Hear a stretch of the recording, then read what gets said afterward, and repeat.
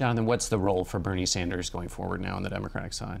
Getting a lot of media attention, pushing his message, winning delegates where he can, and trying to basically go into the convention with uh, uh, the ability to leverage the party towards a more populist orientation and sort of keeping the pressure on her uh, ideologically uh, more than he is an actual threat to win the race.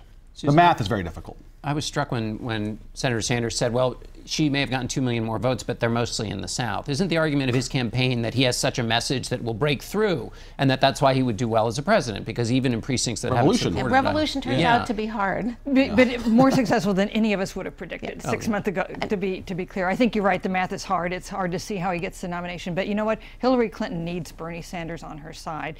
Once he finally gets out of the race after the convention, she needs Bernie Sanders to make her case with energizing, especially younger voters, right. because he continues to crush her in that demographic, and she needs them not only to support her, but to care enough about her candidacy to come out and vote in November. And watch for Bernie Sanders in the next bit to sharpen his message against Donald Trump and not as much against Hillary Clinton because he's kind of looking down the road as last, well. Last question to you, Reihan. How much can the Democrats use what's happening in the Republican race right now in the general election against whoever the nominee oh, is? they can absolutely use it, particularly Hillary Clinton to great effect. The trouble is that when you have tremendous success, when you have a kind of catastrophic success like Hillary Clinton might have in a race against Donald Trump, then the Democratic coalition becomes so big, so broad, so expansive that you start having more civil wars within that mm -hmm. coalition. And the Bernie Sanders challenge represents the future. This party that now seems unified against Trump is going to have a lot of fractiousness as it has in previous eras, and that's going to become uh, something that's going to be very, very interesting you to watch. I kind of prefer to be the Democrats right now.